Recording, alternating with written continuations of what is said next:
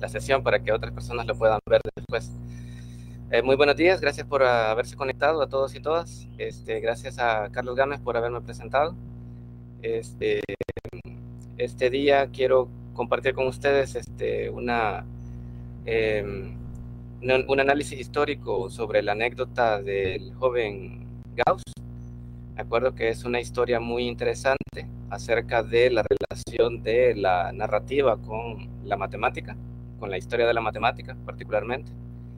Entonces, este, les cuento, este es un trabajo este, que fue publicado, ese no es mío, eso es, es, un artículo de otra persona, pero es muy interesante. Es eh, un artículo publicado en la revista American Scientist, ¿de acuerdo? Es, poca cosa, ¿verdad? Poca cosa. Este, en 2006.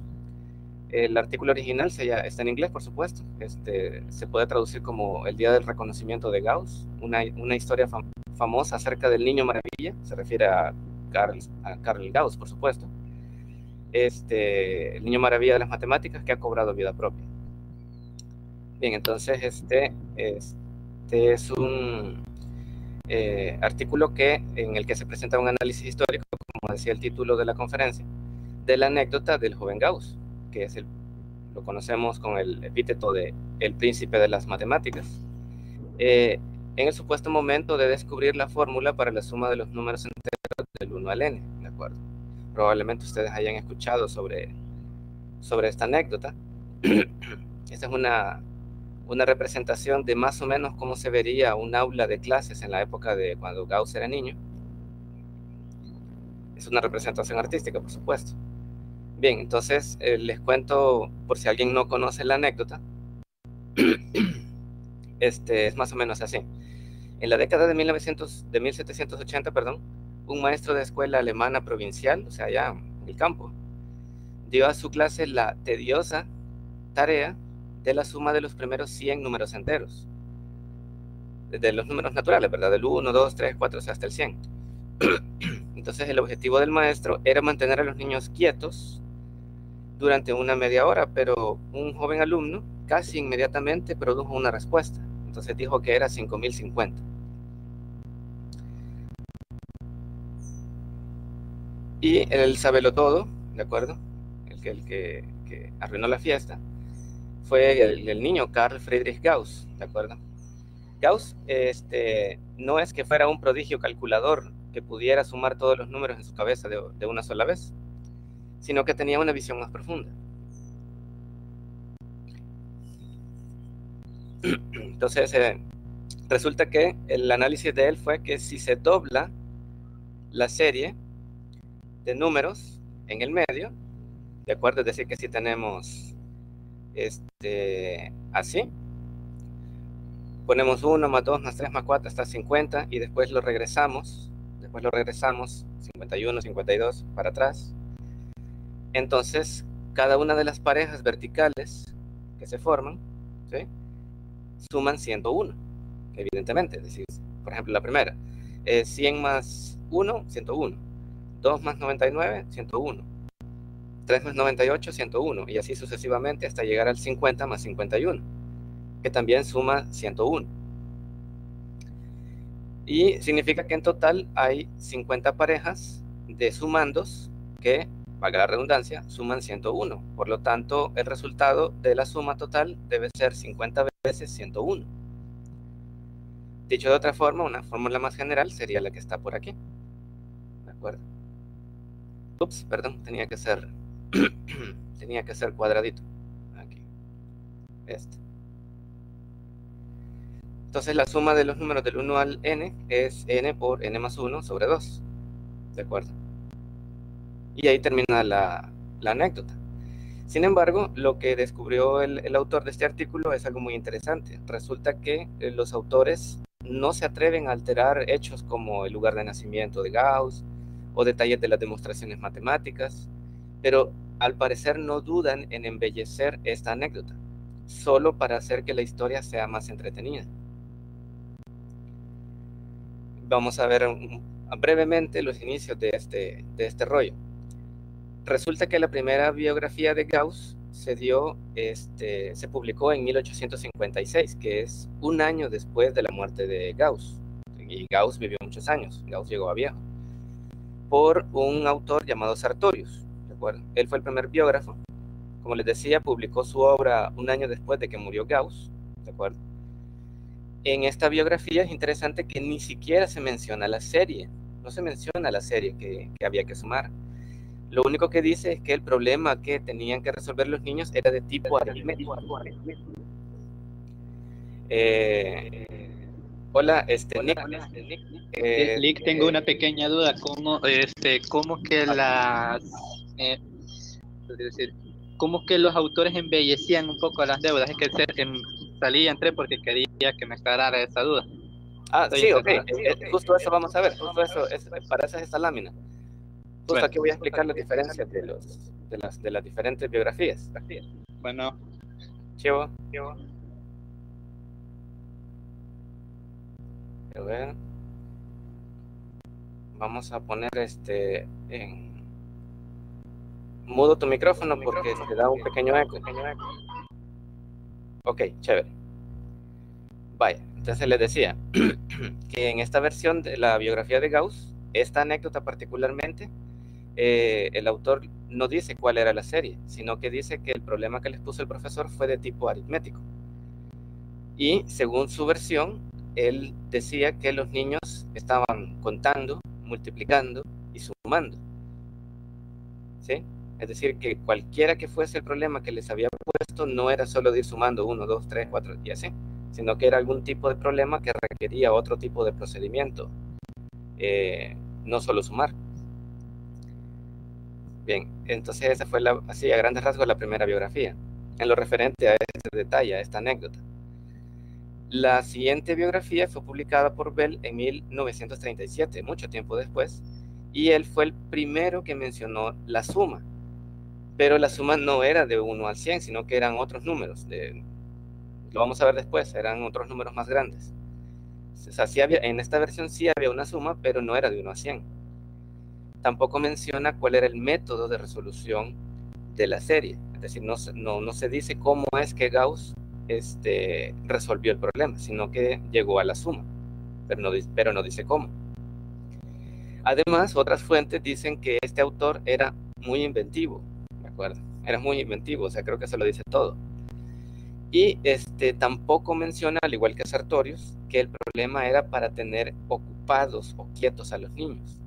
Tampoco la versión de Sartorius dice cosas semejantes, lo que significa muy probablemente que en los inicios, este, eh, es decir, en las primeras versiones no se ponía eso de que el profesor quería tener quietos a los bichos ahí porque él estaba aburrido, sino que realmente era una especie de problema típico de la escuela de ese entonces, de ese contexto sociocultural.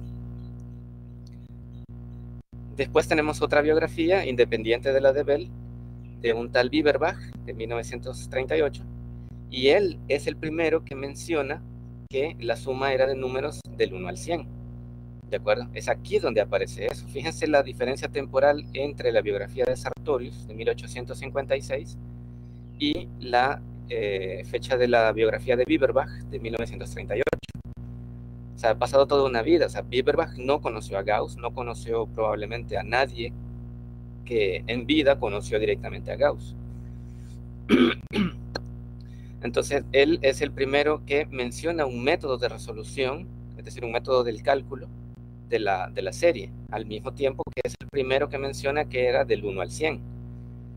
Y también, fíjense, es el primero que menciona que el problema era para tener quietos a los niños. Como que si el profesor estuviera aburrido y no quería dar clase y les puso un problema que él creyó que era muy difícil, y se fue a sentar a su escritorio. Él es el primero que menciona este detalle, es decir, en las biografías previas no aparecía este, esta, este, este significado del ejercicio que estaban haciendo los niños. Lo que, repito, muy probablemente significa que en la época eh, de Gauss no era un problema eh, para que tener quietos a los bichos, sino que era un problema tradicional de la escuela de esa época. Bien, posteriormente tenemos otra biografía, bastante posterior, de 1966, publicada precisamente por Helen Worthington Gauss, que es bisnieta, bueno, fue bisnieta de Gauss, ella murió, y que se basó en la de Bieberbach. En realidad, técnicamente hablando, es una traducción al inglés de la biografía de Bieberbach, que por cierto, olvidé mencionarlo, fue publicada en alemán. Entonces es como una traducción con algunas modificaciones. Este, se basa en la de Sartorius y en la de Bieberbach para, para hacer una traducción al, al inglés. Este, ella dice que es un problema aritmético, ella cambia la expresión de que era un problema aritmético porque era un problema de suma del 1 al 100, similar a la de Bieberbach, y también cambia la expresión que usó Sartorius de que los niños contaban, multiplicaban y sumaban por simplemente que los números, que perdón, que los niños sumaban. Es decir, ella redujo como la complejidad supuestamente del problema a simplemente que los niños tenían que estar sumando y sumando y sumando y sumando. Em, a ver, aquí también hay que hacer algunas reflexiones sobre qué, qué, qué significa esto. Si lo piensan un instante, si los ponen a ustedes a sumar los números del 1 al 100, pues por supuesto lo más inteligente no es ponerse a sumar uno por uno los números, ¿verdad? Sino que evidentemente habría que hacer un proceso de sumar, por ejemplo, los números del 1 al 9, ¿sí? Bueno, del 1 al 10, ¿sí? Y este, bueno, hay muchas variantes, ¿no? Pongámoslo del 1 al 9. Del 1 al 9, entonces eso da una suma. Luego, por ejemplo, del 1 al 9. ¿Sí? Eh, eh, por ejemplo, 10 y 1, o sea, basándonos en el ejemplo actual, 10 y 1, 9 y, 9 y 2, 7 y 3, y así sucesivamente, 8 y 3, perdón, y así sucesivamente, y así todos los números terminan dando 11. Sí, exacto. O sea, algo así fue lo, lo, que planteó Gauss. No, es que, es, espérate, Nick, es que, creo que no has entendido. el, punto es, que en realidad no sabemos qué es lo que hizo Gauss. Esa es la cuestión. Esta es la moraleja de esta, de esta presentación. De la, eso es lo que hizo la, el investigador. Lo que les quiero decir, quiero decir este, es que, es que, esperen, es que tengo eco con, con, Nick. Ahí está, gracias Nick, gracias. Este, lo que les quiero decir es que, o sea, si a uno lo ponen a hacer eso, uno lo que haría, o sea, si uno lo piensa así un poco más eh, metódicamente, uno tendría que sumar los números del 1 al 9. Eso da un total. Luego, este, habría que sumar los números del 10 al 19, si lo piensan un momento. Del del 10 al 19, la suma de las unidades de estos números da lo mismo que el anterior, pero habría que sumarle 10 veces 10, ¿verdad? Luego, si sumamos los números del 20, si queremos sumar los números del 20 al 29, de nuevo, la suma de las unidades de todos esos números da lo mismo que la primera, pero habría que sumar 10 veces 20 si se dan cuenta. Entonces, por eso es que aparecen multiplicaciones en la suma. Es decir, en la versión de Bell, eh, sí había una serie, pero eh, no dice cómo se resolvió. Y dice, al igual que la de Sartorius, que los niños contaban, multiplicaban y sumaban. Ven, es decir, que muy probablemente este era el procedimiento que un profesor típico de aquella época esperaba que los niños hicieran. Y por eso aparece esta expresión de contar, multiplicar y sumar. En la versión de, de la bisnieta de Gauss, de Helen Worthington Gauss, los niños ya no contaban, multiplicaban y sumaban, sino que solo sumaban. Ven, se dan cuenta, como que va disminuyendo la dificultad, como que no, como que va disminuyendo la capacidad de los niños de resolver esos problemas. Y por eso pareciera que es más este, Em, potente el razonamiento de Gauss. ¿De acuerdo? Parece como maravilloso. Entonces, eh, a ver, el investigador, ya le voy a mostrar una tabla donde están diferentes biografías de, Gauss, pero lo que encontró el autor es que los, todos los diferentes detalles de la anécdota, de esta parte de la, anécdota que aparece en la biografía de Gauss, cambian según el autor casi todas son distintas. Cambian como ven aquí, la serie en sí, es decir, cuáles son los números que, había, que los niños estaban sumando, cambia el método de resolución.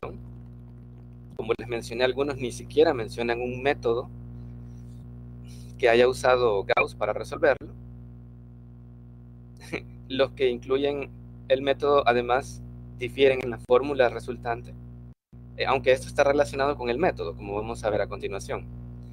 Algunas, algunas biografías indican que en ese momento Gauss era el más joven, el más chiquito de todos los niños. Hay otros que no mencionan ese detalle. Evidentemente, eso fue inventado posteriormente. Algunos no mencionan que la tarea fuese tediosa. Ese es el término que normalmente usamos en las versiones en español. Eh, pero no todos los autores aclaran que fuese una tarea tediosa. Lo que significa, como les decía, que probablemente en las primeras épocas de estas biografías, un ejercicio semejante era un ejercicio como cotidiano. Era un ejercicio ordinario que no, que no tenía nada de anormal en, esas aulas de clase, en esa época. Hay algunas versiones de la biografía que indican que el profesor tenía un látigo con el que les pegaba a los niños. ¿De acuerdo? Este, lo cual ha ido desapareciendo en las versiones eh, modernas de la biografía. Este, a ver, esto hay que, hay que aclararlo. Los, eh, de, los que están aquí presentes, los más jóvenes probablemente encontrarán como muy extraño, muy sádico esto de que el profesor tuviese un látigo con el que le pegaba a los niños. Pero este, yo todavía crecí en una época, no sé tan viejo, todavía fui a la escuela y los profesores todavía tenían como autorización de pegarle a uno cuando uno hacía algo malo. ¿De acuerdo? Obviamente siempre había profesores malos, ¿verdad? Y, había profesores buenos que trataban de no hacerlo. Pero este, el hecho es que en la época de Gauss esto era por supuesto la norma, es decir, el profesor tenía todo el permiso de la familia y de la sociedad de pegarle a los niños. ¿De acuerdo? Entonces no era raro que en las primeras versiones de la biografía aparezca este detalle, de que el profesor tenía un látigo con el que le pegaba a los niños.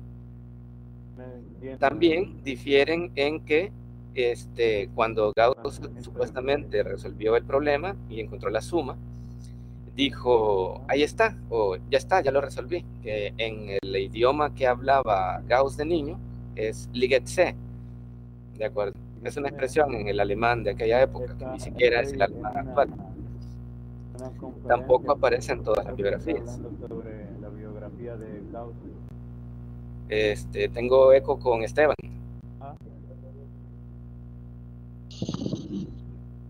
Gracias, gracias, Esteban. Este, también hay unas versiones que hablan acerca de que cada niño tenía una pequeña pizarrita. ¿De acuerdo? Entonces, este, no sé si tengo una por aquí, no, no sé dónde está. Este, la cuestión es que eh, en aquel entonces este, no estaba como que muy difundido que los niños eh, utilizaran el papel para hacer cualquier garabato que quisieran. O sea, el cuaderno era como algo muy costoso, digamos y solo había que usarlo para hacer los ejercicios de las clases, que en aquel entonces, por supuesto, se trataban de repetir lo que el profesor decía. De acuerdo, en aquel entonces no, no existía constructivismo. En aquel entonces los, los niños se decía que aprendían cuando podían aprenderse de memoria todo lo que el profesor había dicho en clases. Eso significaba que los niños habían aprendido. Entonces, para hacer procedimientos intermedios, en el caso de matemática, los niños tenían una pequeña pizarrita donde escribían y por supuesto borraban para poder seguir haciendo más cálculos. Entonces, este, ese es otro detalle que no mencionan todas las biografías, que los niños tenían una pequeña pizarrita donde hacían los cálculos. También las biografías difieren en el hecho de que solo Gauss resolvió el problema. Es decir, que hay biografías que no mencionan que otros niños hayan resuelto el problema o que, eh, o que nadie lo haya resuelto. Y hay otras biografías que si dicen que Gauss no fue el único que resolvió el problema, sino que simplemente lo resolvió de una forma diferente. Este, eso está relacionado con la que está aquí más abajo, que es que Gauss terminó antes que el profesor terminara de decir el problema. ¿De acuerdo? Hay unas biografías que dicen eso, que el profesor estaba hablando del problema, ni había terminado de hablar cuando Gauss ya tenía la solución. No todas dicen eso. también difieren en el hecho de que el profesor ya sabía la respuesta. Esta, este hecho está relacionado con el, el hecho de que si la tarea era aburrida o no. Está muy relacionada con eso.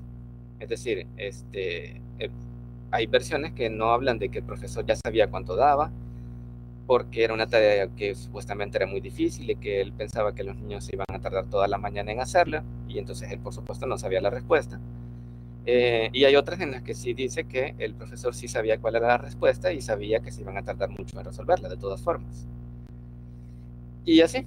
Incluso hay unas versiones que tienen un, una pequeña anotación histórica, supuestamente, de antes de esta época, de cuando Gauss era muy chiquito, o sea, antes de esta supuesta anécdota de cuando Gauss era niño en una escuela, de que Gauss corrigió un cálculo de su papá cuando estaba muy chiquito. O sea, hay unas biografías que no, no comienzan con la anécdota de la que estamos hablando, sino que comienzan con otra anécdota anterior de cuando Gauss estaba más chiquito todavía y que corrigió a su papá en un cálculo que había hecho.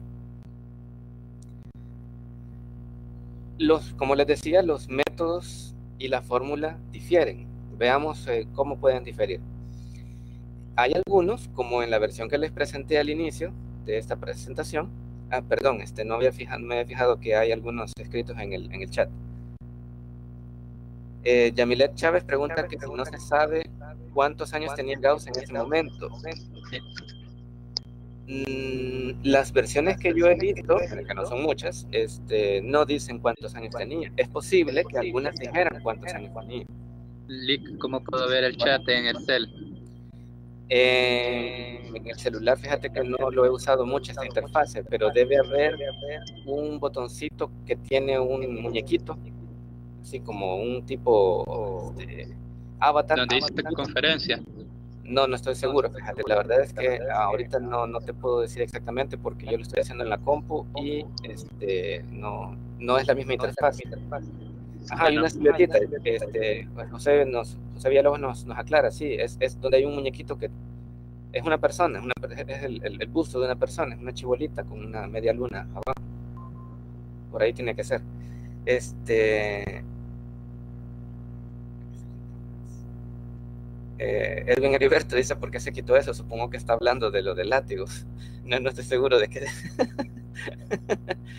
Juan Francisco dice, yo vivía esa época clásica en bachillerato. Había un profesor, si no le dabas la tarea, te pegaba con una regla. Sí, sí, yo, o sea, yo tengo 35 años y todavía recuerdo que la profesora de preparatoria le pegó a algunos compañeros. No, no, no recuerdo por qué.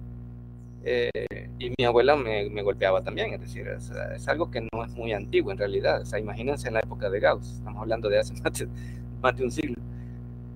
Este. Ok, chévere. Bueno, vamos, vamos a seguir con lo de los métodos y la fórmula. Les decía que al inicio de esta presentación les presenté una versión de la anécdota en la que se dice que la, la serie se dobla ¿De acuerdo? O sea, ese es un método de solución en el que las parejas que quedan, todas suman la misma cantidad. Y entonces solo resta eh, saber la mitad de los elementos, de los números, porque esa es la cantidad de parejas. En el caso de la imagen que están viendo ahorita, que es una versión simplificada, son cinco parejas de números que suman 11. Por lo tanto, la suma debe ser 5 veces 11, en este caso 55. Lo que conduce, como pueden ver del lado derecho, a la fórmula de n medios multiplicado por n más 1. ¿De acuerdo? El n medios es la cantidad de parejas que se forman y el n más 1 es la suma que dan las parejas. ¿De acuerdo? Pero otras biografías mencionan otro método distinto con otro método distinto con el que Gauss resolvió supuestamente la, la suma. Estas otras versiones dicen que este, la sumó dos veces, o sea, la puso eh, para allá y después la escribió de regreso para atrás. De tal forma que eh, todas las parejas dan la misma suma. En este caso, de la imagen que están viendo aquí, por ejemplo, se ha, duplicado. Entonces, este, por ejemplo, los, los primeros serían 1 más 10 da 11. Luego, 2 más 9 también da 11. Y así sucesivamente, ¿verdad? Todas dan 11 pero en este caso son 10 parejas, no son 5. Sin embargo, como lo que hemos hecho es calcular el doble de la suma, entonces después hay que dividirla por 2. Y de allí es de donde aparece la expresión de que es el producto de n, que es la cantidad de números, en este caso la cantidad de parejas, por lo que suma cada pareja, que es n más 1, pero como está duplicado, porque está dos veces la suma, para, arriba, para adelante y para atrás, entonces hay que dividirla por 2. ¿De acuerdo? Este, pueden ustedes notar que algebraicamente es la misma expresión. O sea, nosotros no vemos diferencia entre estas dos expresiones. Sin embargo, eh, son distintas en el sentido de que son producidas por un método de resolución diferente. Veamos otro método. A ver, José Cortés dice en el chat, Pero eso de las fórmulas en realidad no perdería importancia ya que por la manipulación, eso es justo lo que estaba diciendo. Y esto no nos describía sino cómo se hizo. De hecho, sí, ah, en lo que sucede es que las biografías de Gauss normalmente dicen cómo lo resolvió las más recientes. Y de allí es de donde sale la fórmula con la que se calculó. ¿De acuerdo? Entonces, es justo lo que estaba diciendo en este momento, que aunque la fórmula algebraicamente es igual, todas son iguales, porque da lo mismo, este, el método de resolución es distinto. ¿De acuerdo? Eso es lo importante. Nosotros como profesores de matemática, este, también tenemos que tener estar pendientes de este detalle. A veces los estudiantes este, tienen eh, sí, obviamente todos tienen eh, razonamientos diferentes, pero el punto es que producen procedimientos distintos y esto lo lleva generalmente a obtener soluciones que simbólicamente se ven diferentes, pero que en realidad semánticamente son iguales. ¿De acuerdo? Entonces, para nosotros como profesores de matemáticas esto es muy importante. Este, porque en este caso es que es como un ejemplo, ¿no? De que procedimientos distintos producen el mismo resultado y todos son válidos. Es decir, si un niño ah, lo hace de una forma o de otra o de otra, pues no significa que esté malo. Los profesores tenemos que ser abiertos a este hecho cognitivo de que las personas procesamos y resolvemos los problemas de forma diferente. En este caso particular, pareciera, como José Cortés dice, que la expresión algebraica es, es equivalente, efectivamente, pero lo importante en este caso es que los métodos de resolución son distintos y para, eso, bueno, este es un seminario de didáctica de la matemática, ¿no? Así que hay que decirlo. El hecho de que el procedimiento sea distinto, este, en este caso no afecta el resultado, pero es importante hacer esa aclaración, ¿no? Que los niños resuelven los problemas de forma diferente. No, normalmente no hay un procedimiento correcto único. Es muy raro, son muy, muy o sea, relativamente pocos los problemas de matemática que tienen soluciones únicas en el sentido de procedimiento para llegar a la solución. ¿De acuerdo? Esa es como la moraleja de esta parte, es de lo que quería enfatizar. Bien, regresando al hecho de la, a ver, dice Claudia, y a veces la dificultad se da en que los niños expresen o escriben lo que tienen en su mente. Sí, sí, efectivamente. Es decir, sí, bueno, además ese podría ser otro problema, de que los, los, los niños, los estudiantes, lo expresan de formas distintas. Y hay profesores que son muy inflexibles eh, en el sentido, yo creo que a todos nos ha pasado, de que si la respuesta no está como el profesor dice, entonces está malo. ¿De acuerdo? Entonces, bueno, de eso se trata. Eh, Milton Martínez pregunta en qué momento Gauss generalizó el problema. En realidad, de hecho, este, nadie lo sabe, porque precisamente este, en realidad ningún biógrafo de Gauss lo conoció en vida. Entonces, eh, técnicamente hablando, esta anécdota en realidad es casi, casi un mito. Pueden verlo por las cantidades de diferencias que tienen entre las diferentes biografías. Es decir, eh, eh, ¿qué es real de esta anécdota? Precisamente de eso se trata esta presentación, ¿no? es muy difuso. En realidad no sabemos qué parte es real de toda esta historia. Edwin Heriberto dice que eso me pasó hasta la universidad, lo de, las, lo de los resultados, los procedimientos. Sí, no, a todos nos ha pasado. Juan Francisco Aguirre dice también a veces hay otras maneras de hacer. Sí, efectivamente. Es normal que, es normal que un problema pueda resolverse de diferentes formas. Entonces nosotros como profesores de matemática debemos ser abiertos ante la posibilidad de que hay diferentes métodos.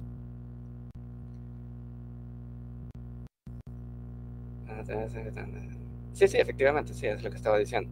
Muy bien, bien, regresando a, los métodos de resolución de, las diferentes versiones de la anécdota, este está el procedimiento del promedio. Este cuando lo vi, a mí me sorprendió porque no se me ocurrió que alguien podría pensar de esta forma. Me parece a mí un pensamiento un poco más sofisticado porque, bueno, yo estas cosas las aprendí en la universidad, pero no sé, en aquella época puede ser que los niños estudiaran este tipo de propiedades.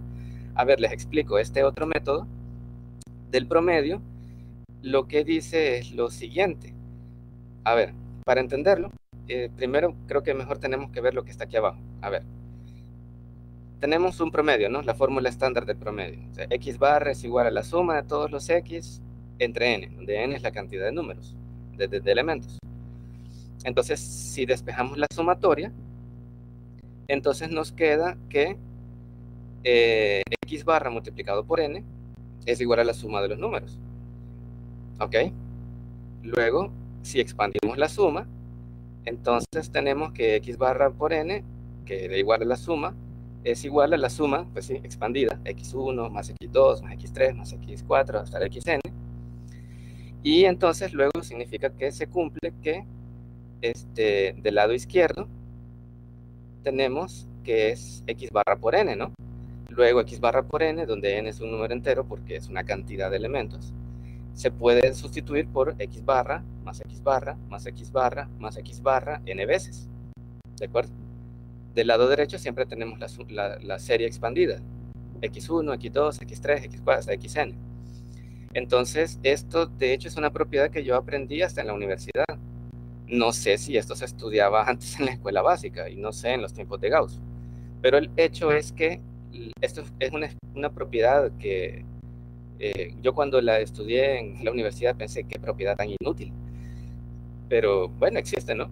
existe. La propiedad lo que dice es que eh, la suma de todos los elementos de una serie se puede sustituir, o sea, e, es tal que cada elemento se puede sustituir por su promedio, por el promedio de toda la serie. Es decir, que si tenemos la suma x1 más x2 más x3 más x4, etc., podemos sustituir cada uno por el promedio de toda la serie y la suma da lo mismo.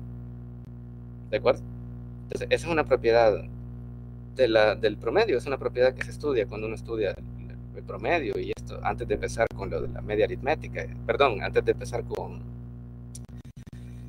con, la desviación estándar y eso. Entonces, aplicando esa propiedad, tenemos que la suma de 1 más 2 más 3 hasta llegar a 10 o hasta cualquier número, este, se puede eh, calcular como n multiplicado por el promedio. Es decir, lo sustituimos todos y entonces esa suma nos da el promedio por n.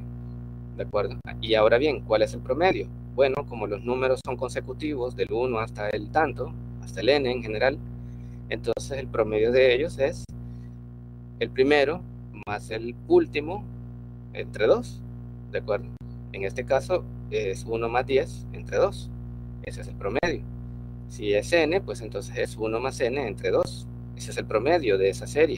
¿De acuerdo? Entonces la suma de los números tendría que ser, como en la propiedad que está aquí abajo, tiene que ser x barra, que es el promedio, por n. Entonces de ahí es de donde sale esta otra fórmula. Esto.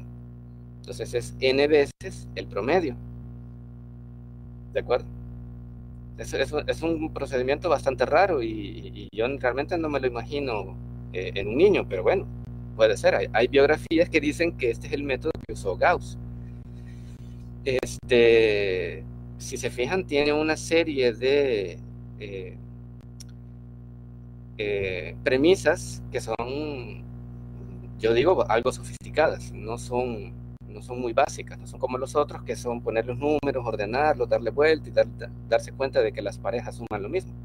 En este caso hay más conocimiento que tiene que estar detrás o sea, que, un niño, que una persona tendría que tener para eh, deducir la fórmula de esta manera.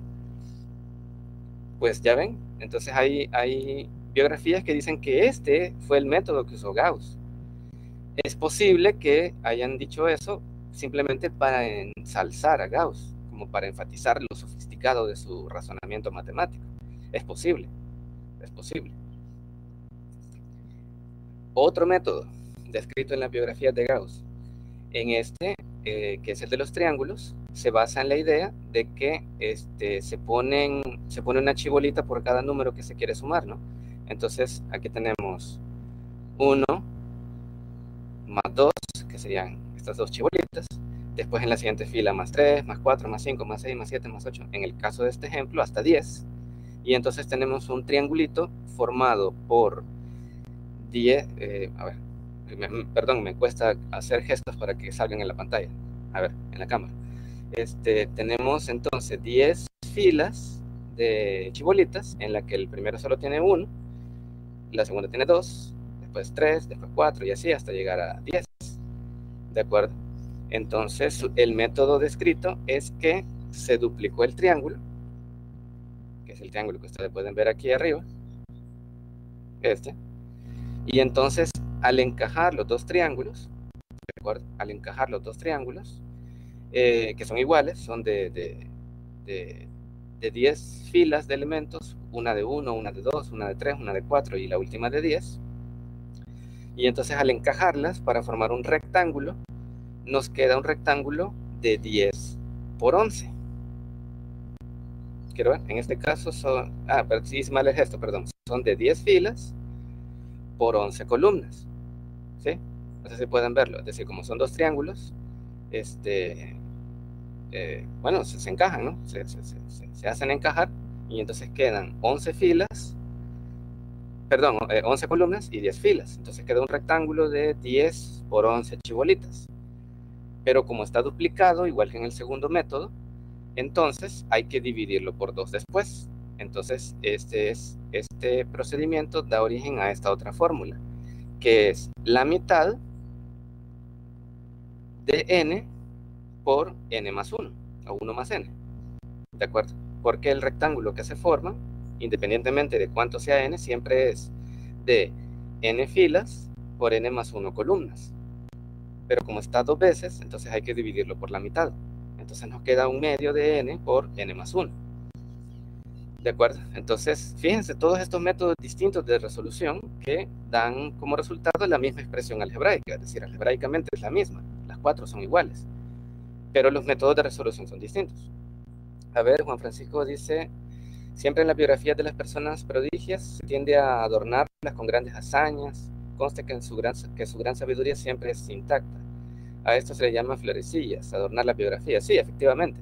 Y de, hecho, eso es, sea, eso es lo que encontró este investigador, de que las biografías, por lo menos respecto de este detalle, de esta anécdota, son muy diferentes. Entonces vamos a echarle un vistazo a la recopilación que hizo esta persona este, sobre las biografías de, Gauss. A ver, les explico un poquito. Esta es una tabla donde en la primera fila están los autores de las biografías, evidentemente la fecha en la que se publicó, el idioma. Pueden ver que ahí las primeras son en alemán, después una en inglés, después en alemán, en inglés, alemán, inglés, alemán, después la mayoría son todas en inglés. Hay más, espérense, faltan otras dos diapositivas de, biografías.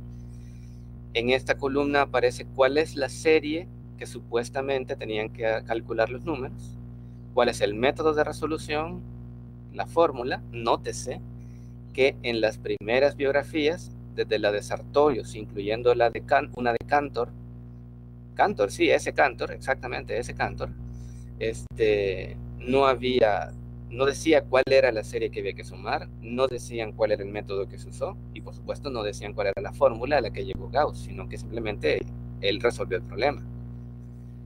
Aquí hay otras columnas más pequeñas con, colorcitos que eh, mencionan otros detalles de la biografía. En el caso, por ejemplo, de que si Gauss era el más joven, yo les, dije, por ejemplo, en la que les presenté al inicio de esta, de esta conferencia, no decía que Gauss era el niño más chiquito del aula. Pero hay unas que sí lo decían. De hecho, la primera, la de Sartorius, dice que él era el más chiquito.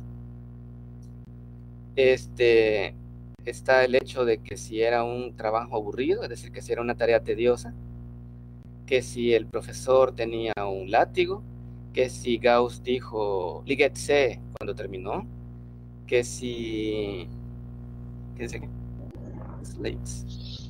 Eh, no me acuerdo qué es este detalle, este, que si Gauss fue el único que resolvió el problema, que si el profesor ya sabía cuál era la solución, que si Gauss resolvió antes de que el profesor terminara de hablar y que si Gauss corrigió al papá en un cálculo. ¿De acuerdo? A ver, alguien está escribiendo, José Cortés dice, ¿pudieran, pudiéramos, pudiéramos decir que la primera tiene más veracidad? Em, no necesariamente. Em, porque igual el autor no conoció a, no conoció en persona a Gauss. Este, así que en lo que se refiere al hecho de, de los detalles, podría ser que sí, porque estaba más cercano y el contexto cultural, cultural era, más, eh, era más cercano. Es decir, por ejemplo, hoy alguien que escribiera esta anécdota, por ejemplo, para publicarla en un, no sé, se me ocurre, para publicarla en el libro de Smate, por decir algo. Imaginen que los libros de Smate tuvieran este tipo de biografías, que no, lo sé, no los he leído, este, no los he leído todos. Este, supongan que los, los, lo ponen ahí para que los niños de la escuela lo, lo lean. Usted, estoy con 100%, estoy 200% seguro que ningún ministro de educación permitiría que se pusiera ahí que el profesor que le daba clases a Gauss le pegaba. Estoy segurísimo que no lo permitirían porque este es un contexto cultural muy, muy distante, muy lejano. Entonces probablemente es más veraz la primera en, este tipo de hechos históricos. Sin embargo, igual este es, es difuso, en realidad no sabemos. Dice que el niño Gauss tenía nueve años. Eh, Araceli dice que el niño de Gauss tenía nueve años. ¿En qué versión?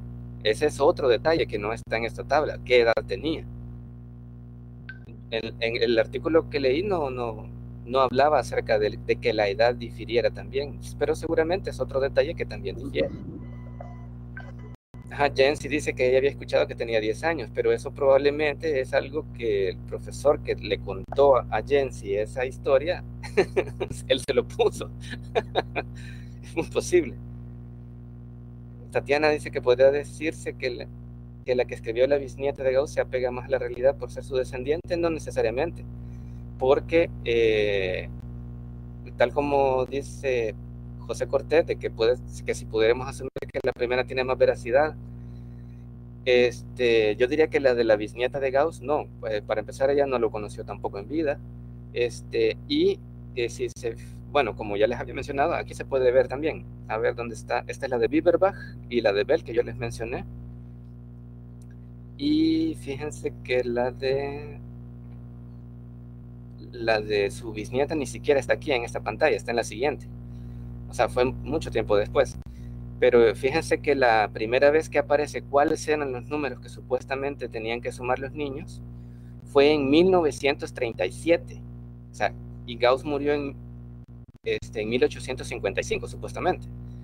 O sea, es una cantidad de tiempo, pero inmensa. Y después de repente sale Bieberbach, también en 1900, bueno, muy cerca, en 1938, con que era del 1 al 100. Es decir, este dato, o sea, yo no confiaría en que esto era lo que realmente tenían que sumar. ¿Sí? Igual con el método, porque obviamente no está puesto el problema con exactitud, entonces obviamente no está narrada cuál es la solución, y mucho menos la fórmula. Fíjense que como fue como, como fue como difundiéndose esto de la serie. Las, la de Bell dice cuál era la suma, o sea, cuál era el, los números que tenía que sumar, que nada que ver, o sea, miren, o sea, tienen era de 81.297 hasta 100.899, o sea, parecen números inventados. No dice cuál era el método. La de Bieberbach dice que era del 1 al 100 y ya dice que se trataba de las 50 parejas, es decir, que era el de que se dobla, era el método de que se dobla pero no dice cuál era la fórmula, solo dice cuál era el método. Hasta varios años después, en 1955, en la biografía de este tal Wobbs, es que aparece una fórmula del procedimiento. Si nos vamos a los otros detalles, también difieren bastante. Por ejemplo, la de Sartorius dice que sí era el más chiquito, pero la de Cantor, de algunos años después, no menciona ese hecho. Después vuelve a aparecer, después empieza a desaparecer, si se fijan en ese detalle.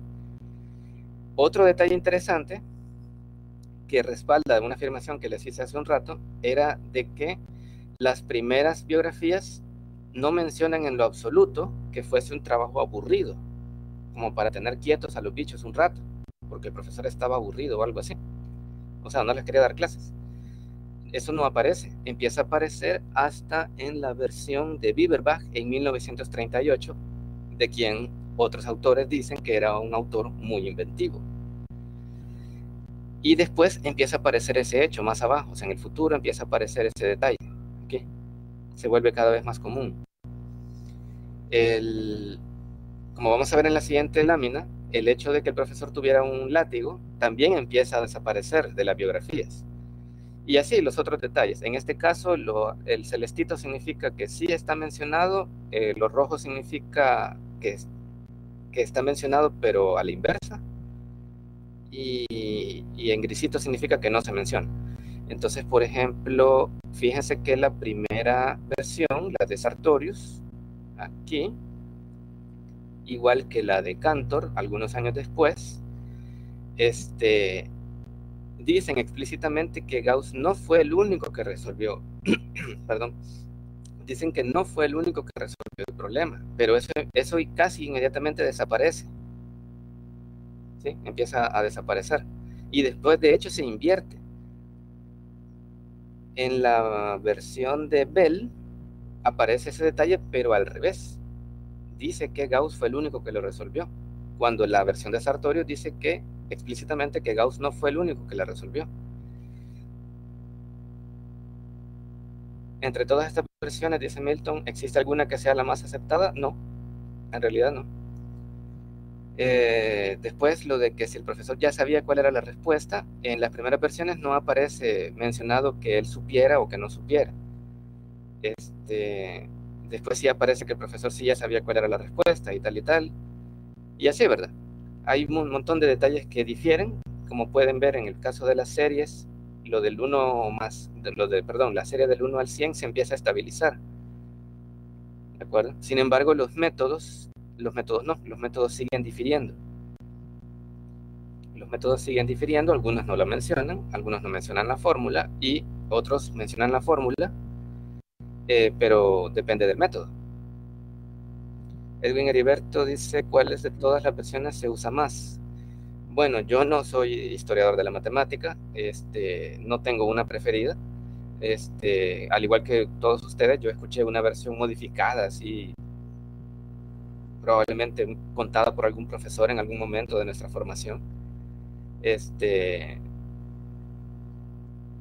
pero es eso, es que hay tantas versiones que el que la cuenta, pues la cuenta más o menos parecida como la leyó o como la escuchó, pero en ese transcurso la versión se va modificando. De tal forma que, no sé, si la encuentran esta en, alguna, en algún libro de texto, seguramente va a ser diferente a la que les conté al inicio. Y quizás no va a ser igual a ninguna de estas que aparece aquí.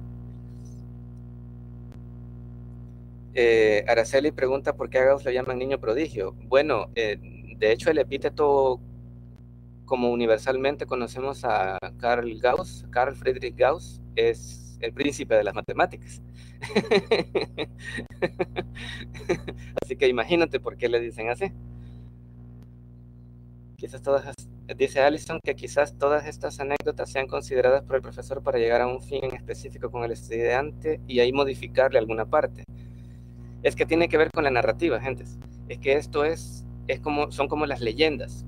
Es decir, si uno escucha una leyenda, o sea, tradición oral, ¿verdad? Tradición oral, uno escucha una, una leyenda, eh, no siempre la vamos a contar como la escuchamos. Es decir, eso se parte de la, de la misma imperfección de nuestra memoria y de nuestras capacidades cognitivas.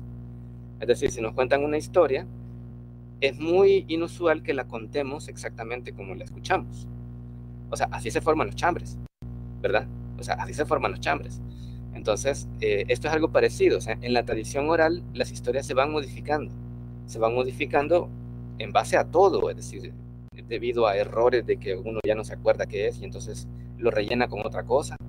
Este, o cambia porque cambia el contexto cultural o cambia porque cambia el idioma, o sea, si la, traducción del alemán al, al inglés, ahí se pierde un montón de información, o sea, aunque son idiomas que están emparentados, hay muchas diferencias entre el alemán y el inglés, ya no digamos a otros idiomas, entonces ya el significado cambia, este, cambia el tono con el que se cuentan las cosas o el énfasis que se hace de diferentes detalles, haciendo que estos sean más relevantes o menos relevantes. ¿De acuerdo? Eh, Wilfredo pregunta algo que me temo que no sé, de que si en la época de Gauss ya se conocían las fórmulas de sucesiones aritméticas y geométricas. Yo supongo que sí, es decir, eh, Gauss trabajó con cálculo vectorial y, es decir, conocemos muchos eh, teoremas y muchas cosas de cálculo vectorial por Gauss, así que yo creería que sí. Yamilet Chávez, a mí me habían contado que después de haber resuelto el problema, el profesor llevó a Gauss ante el rey diciendo, ante el rey diciendo que lo entrenaron porque ese niño hará grandes cosas en el futuro. Ven, esa es otra historia. es, es, es chambre. Ven cómo cambian las versiones. Es decir, eh, eh, bueno, sigamos, ¿no? Este, que esta es la siguiente lámina. la tabla es larguísima, la tabla es súper larga. Aquí yo lo tuve que cortar para que, para que fuera legible, porque no cabe en una sola diapositiva. Esta es la segunda, el, segundo grupo de, de, biografías, donde está la de... Eh, me, perdí la de la nieta de, Gauss, no, no, no, no, la vi, pero el punto es que, miren, aquí en este 1984, este autor vuelve a cambiar la serie, ya no es del 1 al 100, sino que es del 11 al 26 la serie se estabiliza, pero otros autores retoman seguramente la versión de Bell y vuelven a tomar la suma extraña esa que puso él. Eh, después sale este otro Jones con otra serie diferente que nada que, nada que ver. Y los métodos varían grandemente. Como pueden ver, este es el que mencionó el del promedio. Bueno, uno, también aquí está el del promedio. Aquí está. O sea, hay un montón de, hay un montón de, versiones diferentes. y esto sigue, espérense. A ver, esta es la, que falta. Aquí está. Y así. Estas son, ya de último ya empezó a variar el idioma, ya se publicaron en francés, este, en, en rumano, en italiano, en portugués, y así. Este, de hecho, aquí hay una que debería ser muy famosa. Digo, el autor es famoso, Carlos Dasutoy. Entonces él mantiene, fíjense que él habla de los triángulos y habla de la suma del 1 al 100. Ajá, y menciona algunos detalles. Y así. Entonces, esto es, una variedad inmensa. O sea, ya, o sea, cuando uno mira esto, uno ya no sabe si siquiera si es cierta la historia. A ver, quiero ver, me perdí en el chat. ¿Qué dice? Me perdí, quiero ver. Es como Edwin dice, cada autor, profesor o persona fueron modificando la historia, claro, así como lo comenta Lick. Puede que unas tengan sentido más que otras, pero cada vez se vuelven más tergiversadas. Pues sí, es porque es tradición oral. Es decir, el hecho de que se publiquen no significa que la gente después la venga a contar distinto de cómo fueron publicadas. Es decir, este autor lo que ha hecho es una investigación bibliográfica de las de fuentes documentables, pues, es decir, él no, fue, no es una investigación de tradición oral, sino que de de publicaciones, de publicaciones reales de la biografía. Pero cuando la gente lee estas, después las cuenta y las cambia. Y después la vuelve a contar esa otra persona, la cuenta a otros y la cambia. Después ese que estudió para profesor, quizás, se las contó a sus alumnos de otra, de otra forma diferente. O sea, ya no volvió a la fuente original, sino que la contó como él se acordaba que se la habían contado. Jensi dice, he leído que los padres de Gauss eran campesinos. No sé si alguna de estas versiones lo menciona. No, no sé. El autor no habla del detalle de los padres. Así como también el hecho de que Gauss aprendiera a leer por sí solo, fíjense, y asimilar la aritmética elemental bastante rápido. Eso seguramente es cierto, pero es cierto no necesariamente porque lo hayan contado, sino porque es medio evidente porque Gauss eh, la luminaria que sabemos que fue, es decir, debe haber aprendido un montón de cosas, o sea, debe haber sido un niño este, muy listo, muy inteligente. Así que eso debe ser cierto, pero porque se infiere, no necesariamente porque se haya narrado de fuente original. Abigail dice en sí, lo único que se puede rescatar es que resolvió el problema de la suma de los números del 1 al 100. Mm, eh, hemos estado viendo que la serie apareció bastante tiempo después de la primera biografía, mucho tiempo después de la vida de Gauss. En realidad no sabemos cuál era la suma. Alejandra Mena dice, es probable que el profesor simplemente modificara la anécdota a su conveniencia para poder dar al estudiante una clase de enseñanza. Exacto, es decir, tradición, de nuevo, tradición oral, es decir, yo sé que aquí seguramente no hay nadie que estudie antropología, pero eh, la tradición oral es, es lo que produjo la expansión exponencial del conocimiento del ser humano. Sin embargo, esta transmisión de información es inherentemente imperfecta. Es decir, como les decía, es decir, hay errores de cuando se transmite porque se cometen errores, porque se le olvidó exactamente qué es lo que le contaron, porque se cambió de idioma, porque cambió el contexto cultural, etcétera, etcétera, etcétera.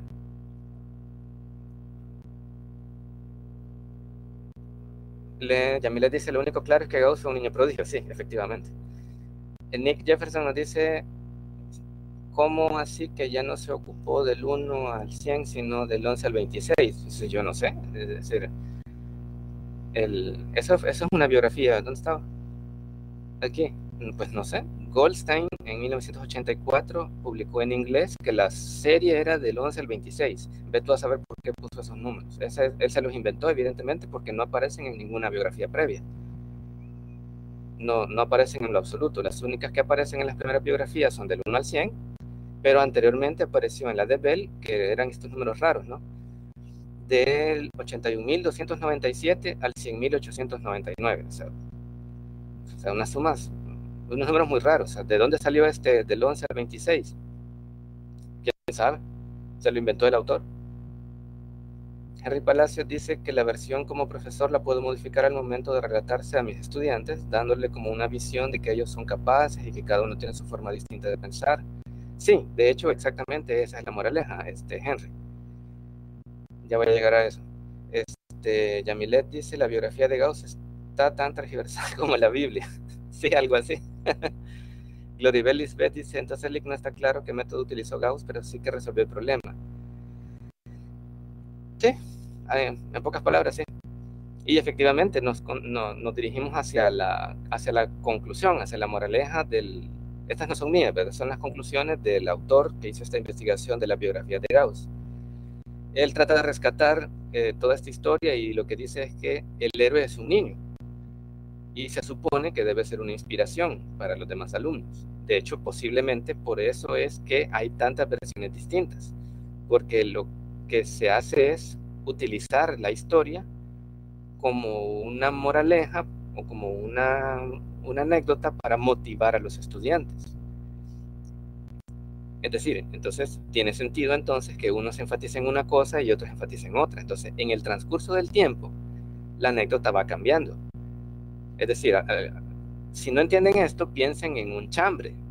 Es una buena analogía. O sea, eh, ¿quién de ustedes no ha escuchado un chambre? ¿Sí? Pero que se ha tomado la molestia de ir a consultar con la persona de donde se originó el chambre y les ha contado lo que realmente sucedió. ¿Sí? No sé si alguien ha hecho eso en alguna ocasión entonces se habrá dado cuenta de que las cosas, o sea, la gente se inventa unas cosas completamente estrafalarias, es decir, eso es bien, eh, eh, es, cierto, es un fenómeno real que sucede. Imagínense lo que puede ocurrir, cómo se tergiversa una historia en el transcurso de unos pocos días, ya no digamos hablando de décadas, de siglos, es decir, es, es natural que una historia transmitida de esa forma cambie. ¿De acuerdo? E, e, e, es, natural, es decir. Y además, si le agregamos eso que decía, este, ¿quién decía? Eh, Henry Palacios, de que la versión del, o sea, los profesores cambian, podemos, o sea, no lo hacemos conscientemente, pero cambiamos la historia para enfatizar ciertas cosas y para dar una enseñanza. O sea, se supone que esto es una moraleja, ¿no? Supone que es una anécdota que, que tiene una moraleja. Por eso es que tendemos a cambiarlas las personas. Eh, Araceli pregunta, cuando llegué a segundo año de bachillerato, la profe nos puso ese problema y yo no sabía de esa historia. Todos quisimos solucionar de una forma distinta, inclusive de una forma aún más larga. Y pregunta que si esa es la más corta. Mm, bueno, pues sí, bueno, la más corta es ya sabiendo que esa es la fórmula, simplemente aplicándola y ya. Esa es la forma más corta. Es decir, la, otra forma es deducir la fórmula, pues que se supone que es lo que hizo Gauss. Y Nick Jefferson nos dice lo que nos deja lo que nos deja claro en esta biografía de Gauss es que la en la matemática hay bastantes métodos para resolver un ejercicio, efectivamente. Pero esta es una anécdota, esta es una moraleja de, de, de esta presentación, no de la biografía de Gauss. Eh, dice Erwin que no podemos saber qué tan tergiversada está. Sí, la verdad es que no podemos saberlo. Pero regresando a las, conclusiones del autor, se supone que es una moraleja y que el héroe de esta moraleja es un niño y por lo tanto debería ser una inspiración para nuestros estudiantes. Sin embargo, el autor también aclara que deja la sensación, una sensación que en realidad los profesores de matemática no debemos fomentar, de que la matemática es como un jueguito solo para aquellos que andan por la vida dando chispazos de brillantez. Lo copia literalmente. Lo que significa es que este, deja la sensación de que la matemática es solo para los niños listos o para las niñas listas. Eso hay que tratar de, de, evitar que, que, esa sea, la, que esa sea la, la, enseñanza que quede, ¿de acuerdo? Si es que utilizamos esta moraleja en, en nuestras clases. Hay que tratar de evitar de que esta sea la moraleja, claro. lo que hay que, o sea, es decir, al autor no le gusta esto de que como que es solo para los niños listos la matemática, no le gusta mucho porque dice que, como probablemente la mayoría de nosotros pensamos, es que llegar a la respuesta correcta es resultado de grandes esfuerzos, más que de genio, es decir, eh, todo, supongo que todos los presentes hemos resuelto problemas de matemática relativamente complejos. Entonces, este, todos sabemos que, o sea, que eh, es inusual resolver los problemas por un chispazo de genialidad. Más tiene que ver, este, más tiene que ver, y las ciencias cognitivas hablan de eso, este, tienen que ver más con eh, el estudio, es decir, con, a ver, eh, para resumir lo que les quiero decir, o sea, la creatividad es un 90% estudio y 10% de imaginación. Eso, yo, yo he leído eso en varios lugares. Entonces, este, pues eso, es decir, pues, uno resuelve problemas no tanto porque sea un genio, sino porque uno ha estudiado. Y entonces al haber estudiado puede echar mano de la creatividad que uno tiene, que también es variable, por supuesto, y a través de eso resolver los problemas. No tanto porque, ah, chispazo de, de brillantez. Es decir, eso es muy inusual. Hay personas que sí son así pero no es la norma, no es la norma. nuestros estudiantes en general no son así. Vamos a tener un alumno así muy de vez en cuando. Eh, Gloribel dice, lamentablemente en nuestro sistema educativo sucede lo mencionado en el segundo punto de la moraleja. Eh, puede ser que esa sea la sensación que quede, pero eso tiene que ver con los métodos de enseñanza que utilizamos. Eh, Sí, bueno, no, no, voy a entrar en ese detalle. María Araceli dice que también debe incluirse la disciplina. Lo que sucede es que el estudio este, se hace... Sí, bueno, sí, tienes razón, hay que mencionarlo. Pero lo que sucede es que si uno no tiene disciplina, uno no estudia. Eso es imposible, estudiar sin disciplina. Entonces, eh, la disciplina es como prerequisito obligatorio para poder para tener estudios. Luego, eso lo mezclamos con un puchito, con una pizquita de, imaginación y eso nos da creatividad y la capacidad de resolver problemas de matemática complejos. Ah, Juan Francisco dice, muy agradecido por tomarse su tiempo para esta videoconferencia. De nada, le saluda el director de organización de Pitágoras, San Miguel, supongo que es un grupo. Nos encargamos de dar refuerzos gratuitos a los jóvenes de cualquier nivel educativo en el área de matemática, pero ya somos multidisciplinarios. Ah, muy bien.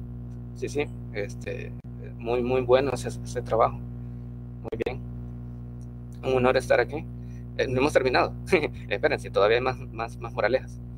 Este, el autor eh, sigue mencionando, hablando, tratando de hacer una reflexión después de este, de este, de este chongue de las biografías, dice que se esperaría que la historia se tome en el sentido de propiciar que los alumnos sigan adelante y sigan aprendiendo, efectivamente.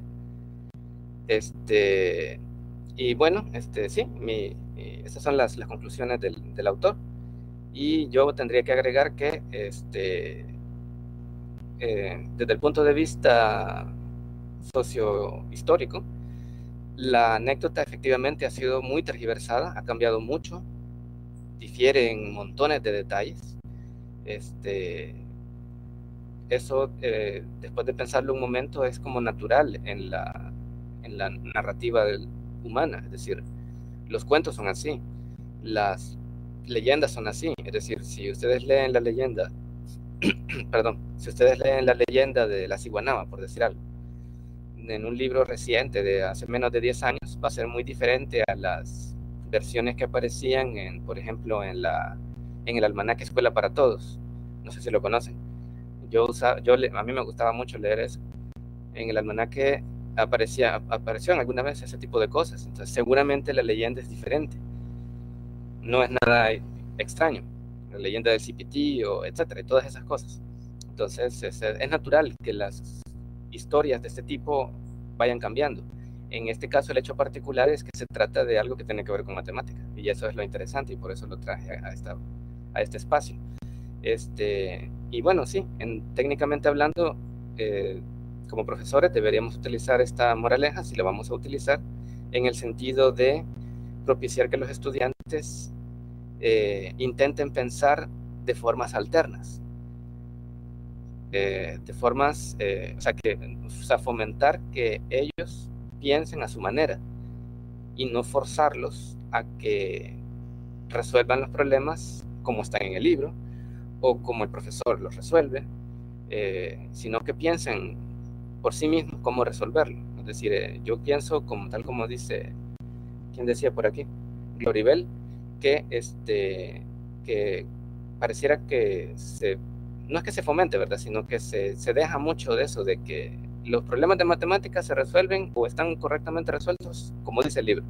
Si no están resueltos así, entonces está malo, o tiene menos valor, o cosas por el estilo. Entonces yo creo que ese tipo de cosas tenemos que irlas dejando de lado, y podría ser, en mi opinión, ese el propósito de esta historia, independientemente de cómo la contemos. El punto es que hay que fomentar, en mi opinión, formas alternas de resolución de problemas. Yamilet dice, la primera vez que escuché de Gauss fue sobre la campana de Gauss y no por estos sucesos. Eh, Yamilet, este, Gauss es, su, bueno, su, epíteto es el príncipe de las matemáticas. Él incursionó en áreas muy diversas. Él estudió teoría de números, estudió cálculo vectorial, el que hoy lo, en matemática lo llamaríamos análisis matemático, vector, análisis vectorial este, estudio geometría. O sea, cuando digo estudio me refiero a que produjo mucho conocimiento. Este, ¿Qué más? Eh, estadística, geometría, teoría del número, análisis vectorial. Este, ahorita no me acuerdo si hay teoremas de él en teoría de grafos. Y un montón de áreas. O sea, eh, eh, no es por gusto, o sea, le llamamos el príncipe de las matemáticas. O sea, realmente se merece ese, ese epíteto. No sé si alguien más tiene alguna pregunta. De mi parte es todo. Pueden escribir aquí en el chat. Dice Gloribel, si alguna vez queremos contar esta anécdota a nuestros estudiantes, ¿qué versión contamos? Buena pregunta. Buena pregunta. Yo diría que la adapte usted misma. Pues sí, ya lo hizo un montón de gente. ¿Por qué no lo va a hacer usted?